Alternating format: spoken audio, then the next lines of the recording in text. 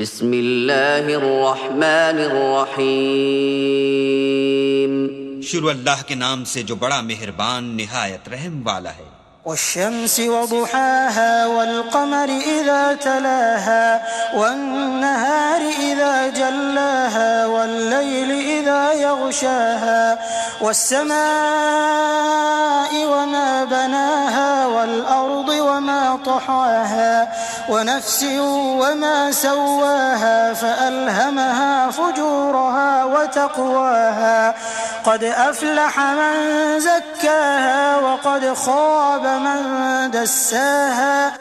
سورج کی قسم اور اس کی روشنی کی، اور چاند کی جب اس کے پیچھے نکلے، اور دن کی جب اسے چمکا دے، اور رات کی جب اسے چھپا لے، اور آسمان کی اور اس ذات کی جس نے اسے بنایا۔ اور زمین کی اور اس کی جس نے اسے پھیلایا اور انسان کی اور اس کی جس نے اس کے اعضاء کو برابر کیا، پھر اس کو بدکاری سے بچنے اور پرہیزگاری کرنے کی سمجھ دی کہ جس نے اپنے نفس یعنی روح کو پاک رکھا، وہ مراد کو پہنچا اور جس نے اسے خاک میں ملایا، وہ خسارے میں رہا۔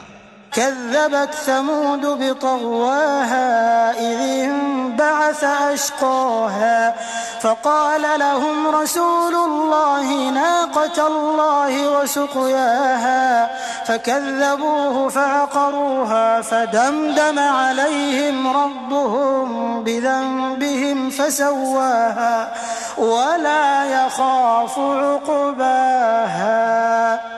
قوم سمود نے اپنی سرکشی کے سبب پیغمبر کو جھٹلایا۔